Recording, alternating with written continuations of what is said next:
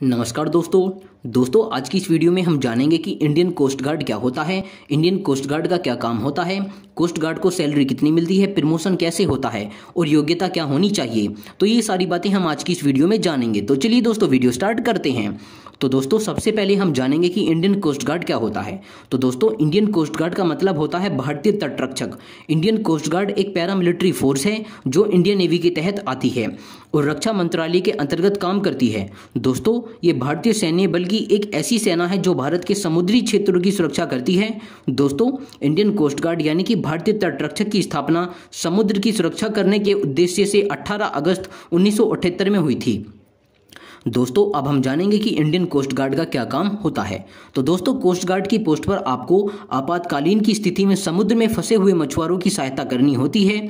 बड़ी बड़ी कंपनियाँ जो समुद्र में कूड़ा डालती हैं और समुद्र में प्रदूषण करती हैं तो आपको ऐसी कंपनियों को समुद्र में कूड़ा डालने और गंदगी फैलाने से रोकना होता है। समुद्र के द्वारा होने वाली तस्करी और स्मगलिंग को आपको रोकना होता है। समुद्र में जीवन और संपत्ति की सुरक्षा के लिए वैज्ञानिकों के द्वारा किए जाने वाले एक्सपेरिमेंट्स का डाटा आपको कलेक्ट करना होता है। समुद्री संकट के समय आपको सहायता प्रदान करनी होती है। तो दोस्तों, ये सभी काम कोस्ट गार्ड में तो दोस्तों, ये सभी काम कोस्ट गार्ड की पोस्ट पर आपको करने होते हैं। तो दोस्तों, अब हम जानेंगे कि इंडियन कोस्ट गार्ड में आपको सैलरी कितनी मिलती है।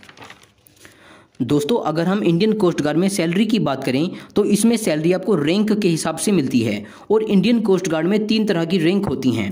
पहली रैंक इसमें होती है नेविक जीडी की, यानी कि नेविक जनरल ड्यूटी की, और इस रैंक पर आपको लेवल थ्री पे मैट्रिक्स के हिसाब से इक्कीस हज़ार सात सौ रुपये मंथली की सैलरी मिलती है।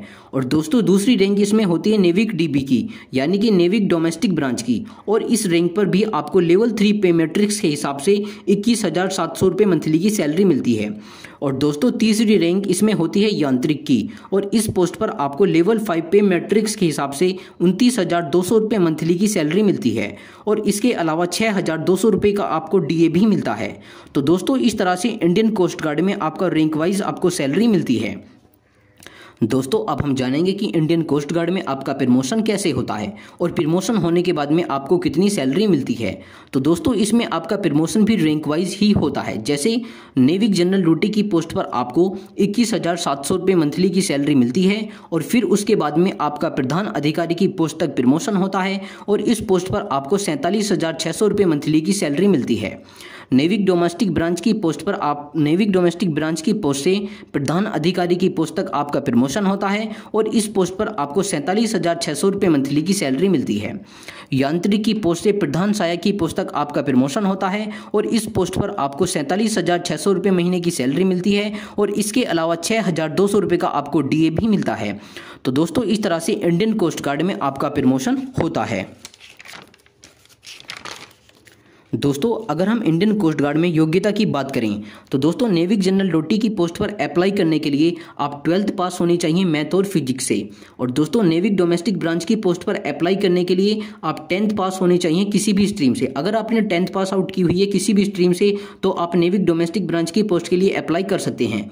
और दोस्तों, यांत्रिक की पोस्ट पर अप्लाई करने के लिए आप टेंथ पास ट्वेल्थ पास या फिर आपने डिप्लोमा किया हो तो तो भी आप अप्लाई कर सकते हो।